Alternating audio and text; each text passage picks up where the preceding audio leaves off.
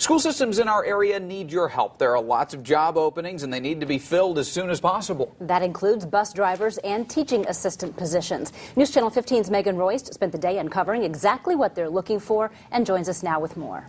Mark and Heather, officials at school districts I talked with today admit these jobs aren't their most highly paid, but they say if you're interested in looking for a job, there's no harm in applying.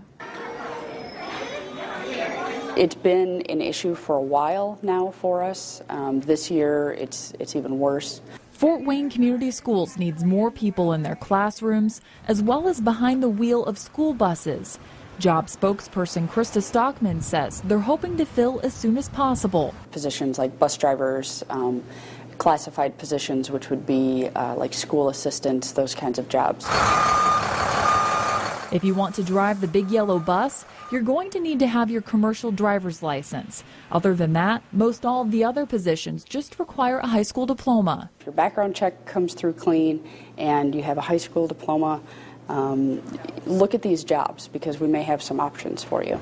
FWCS isn't the only school district in our area scrambling to fill jobs.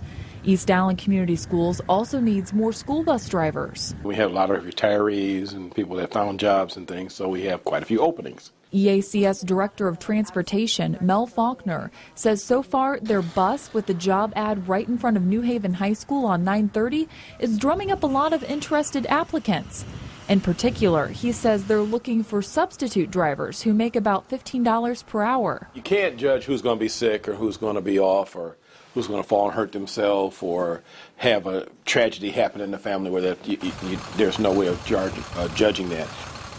NACS and SACS both say they have various job openings too. And if you want to apply, just head on over to wane.com and look for the story. In Studio 15, Megan Royst, News Channel 15.